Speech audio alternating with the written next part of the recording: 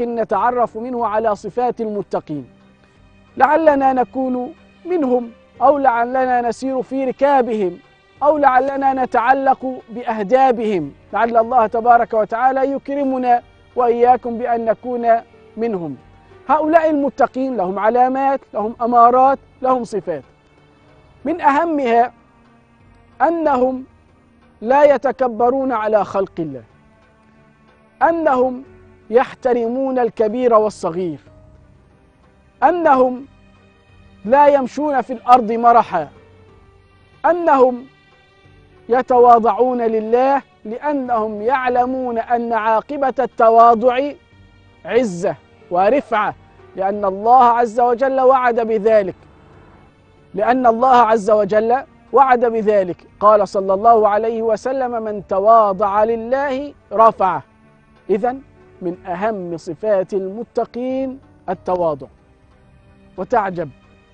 ويا للعجب عندما ترى من يدعي العلم ويدعي امتلاك الحقيقة وحده ويدعي أنه يسير على كتاب الله وعلى سنة رسول الله صلى الله عليه وسلم ويتكبر على خلق الله بعبادته وبطاعته لله وينظر إلى الخلق شزرا كأن كل الناس من العصاة وأنهم داخلون إلى النيران وهو وحده الذي سينجو.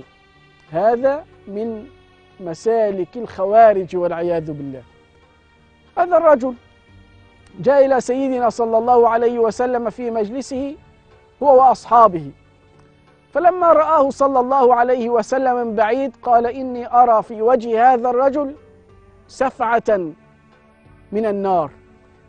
وشه كده في حاجة مش مش مريحانه حتى إذا أقبل على مجلسهم وسلم عليهم سأله صلى الله عليه وسلم أنشدك بالله؟ قل لي بالله عليك. هل حدثتك نفسك وأنت مقبل علينا أنه ليس في هؤلاء القوم من هو خير منك؟ قال نعم. هو خير مني بأمارة إيه؟ بيصلي زيي بيصوم زيي بيتعبد زيي.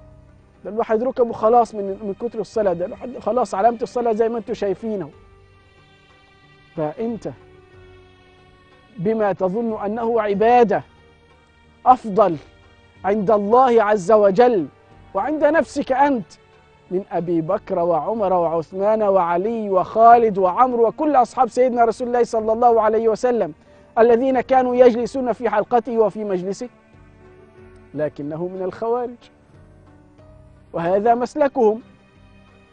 عجيب أن يتكبروا بما من شأنه أن يدعوهم إلى التواضع. يعني العبادة بتخلي الإنسان متواضع بتخلي الإنسان متعلق بالله بتخلي الإنسان محتقر نفسه ويذل نفسه عز وجل لله ويذل نفسه لله عز وجل. إذا فهذا الذي يتكبر على الناس بعبادته ليس من المتقين ليس من المتقين. فعندما يدعوك هذا الذي من شأله أو من شكله تظن أنه رجل من المشايخ رجل شيخ يعني أو رجل عالم أو رجل ما شاء الله بتاع ربنا ويقول لك اتق الله وتلاقيه مكشر كده أساسا وعايز يضربك بالبوكس في عينك كده ويقول لك اتق الله. ده مش دي مش تقوى يا اخوان ده مش دين هذا ليس ديننا. سيدنا صلى الله عليه وسلم علمنا أن ندعو بالبسمة بالجمال بالأفعال قبل الأقوال. هذا الذي يزعم أنه امتلك العبادة امتلك الصيام والصلاة وأصبح خالصا ناجيا من النيران وأنه داخل الجنان هذا لا يعرف شيء عن العبادة ولا عن التقوى. إنما التقوى تدعو الناس إلى التواضع لله عز وجل. ورحم الله سيدنا ابن عطاء في حكمه عندما يقول رب معصية أورثت ذلا وانكسارا خيرا من طاعة أورثت عنادا واستكبارا. يعني إيه؟ يعني الإنسان اللي في قلبه رحمة اللي في قلبه دين اللي يعرف ربنا سبحانه وتعالى فيش مانع أن يعصي الله. أو محدش معصوم. يعني لا معصوم في رأينا نحن أهل السنة والجماعة لا معصوم من المعصية أو الخطأ إلا الأنبياء. بعد الأنبياء كل البشر عرضة للخطأ وعرضة للمعصية. بل على العكس لو لم يخطئ مش هيبقى بشر. ولو لم يخطئ لذهب الله به وأتى بقوم يخطئون فيستغفرون فيغفر الله عز وجل لهم. إذا كلنا من الخطائين لكن خير الخطائين التوابون. الإنسان